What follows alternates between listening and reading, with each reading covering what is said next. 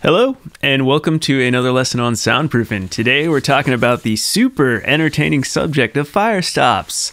Although this is maybe not the most interesting topic when it comes to isolation and soundproofing, I don't know how many topics there are that are super fascinating with sound isolation, but this is an important one if you're building the double wall system. So anytime you have a, a wall where there's going to be an air gap, there's also going to be a gap at the top where fire can easily come out. So I'm going to be talking about a, an important safety feature of this system, which is the fire stop. I'm going to teach you what a fire stop is. I'm going to teach you how to build it so that it's still isolated and doesn't connect the two walls together. So stick around.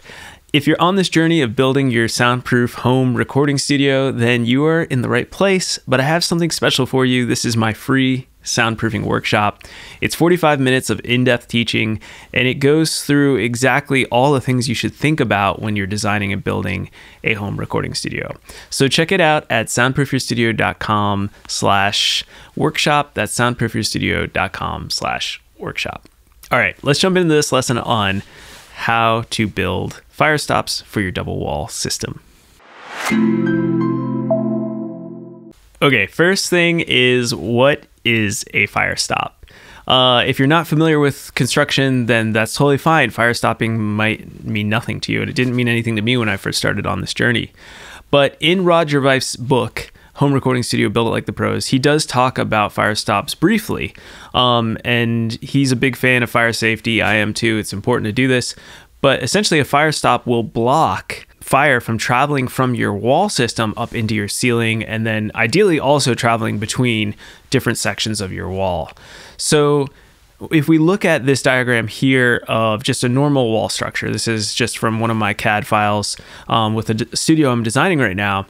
And you can just see that, you know, a typical wall is built with stud framing, usually 16 or 24 inches on center, with insulation in the middle in the case of, of these walls. And the fire in just this single wall, if it were to start inside one of those cavities or bays, um, it can't easily spread. The insulation usually is fire rated, so it won't catch on fire. And then also within the studs, it won't easily travel left to right. It won't go down through the bottom stud, and it won't go up through the top stud. So it'll be contained within that that bay, which is good. That'll reduce the spread of the fire. With a double wall system, we have a problem because now we've created a chimney, essentially. We've created a fireplace in our, our wall cavity. So any fire that starts inside the wall, um, there's air that's just going to naturally go up and will feed the fire, and the fire can easily travel through the wall, and it can also easily travel into your ceiling without you potentially even knowing that there's a fire in your wall to begin with. So that's a dangerous situation. So in construction, the way to block that is to create what's called a fire stop. And essentially what we're going to do is put a, a, cap on top of that chimney. So you can see in this diagram here, the double wall system, there's a space, that one inch air gap between our two walls. And we essentially want to cap that uh, without ruining our isolation. So herein lies the predicament because it would be super easy to just put a piece of wood across the two walls, cap it up. All right, great. But then we've just coupled our double wall system and negated all the hard work we did to isolate them. So, how do you do this? So, this system, I have to give Rod Gervais credit. It's in his book, like I mentioned before Home Recording Studio Build It Like the Pros.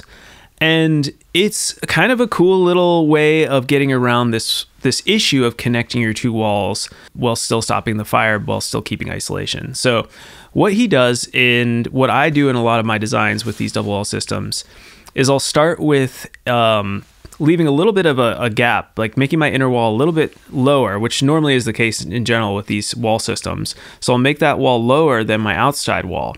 And then what I'll do is I'll add in compressed insulation, like a, a more rigid. This, I think he recommends four pounds per cubic foot. You could use three pounds um, per cubic foot of density, uh, and that will help you with the rigidness of this this structure here. And then what I in this design I'm using either rock wool or Thermafiber, and it could be you know one and a half to two inch Thermafiber, and then I'm compressing it down to one inch. So you'll see in this diagram here that that Thermafiber layer is is taking up an inch above the um, top plate of my stud wall.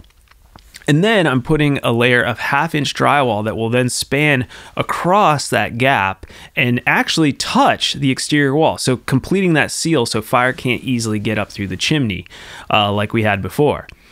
And then what we're going to do is seal up where the uh, the insulation batt and the half inch drywall meet, and in between where it's compressed, we're just going to put a, a, line of uh, fire caulking uh, across there. So in the U.S., that could be like 3M makes fire caulking. Uh, in Europe or in Australia or New Zealand, wherever you are, um, you can get your local fire sealant and put that in there and create an airtight seal, and also help with the spread of fire uh, in that direction as well. Now, when you're adhering this system to the studs, you know, you could use wood screws. You're technically then connecting and sound could technically travel from the exterior wall through the half inch drywall, through a wood screw, and then down into your wall, although this is probably very minimal. So you could place those like every 48 inches on center or as minimally as possible just to keep that thing intact or you know you could use contact adhesive which is you know just a strong rubber based glue to keep everything together and, and attached to the to the top of the wall there. So in essence that is the idea of how to build the fire stop and keep isolation. So if we look at this other perspective, this shows the perspective view um, in my CAD file, and it shows that this is a continuous system that goes across all the tops of all four walls in your studio room so that fire can't spread to the ceiling easily. Um, and it'll make your system and your rooms a lot safer for fire safety. So this is a quick little short video, but it's an important one on fire safety. And I hope you've gained some ideas on how you could create a fire stop in your own home recording studio if you're using this double wall system. Remember, you can use rock wool, you can use Thermafiber, or any insulation batt that has some good density to it so that it can maintain its structure when you're putting all this together and make sure to use the fire caulk. Make sure that it's touching across and sealing that air gap so that fire and smoke cannot travel up through the wall cavity. All right, like I said before, if you are on this journey, check out my free soundproofing workshop. You can just go to soundproofyourstudio.com slash workshop. That's soundproofyourstudio.com slash workshop.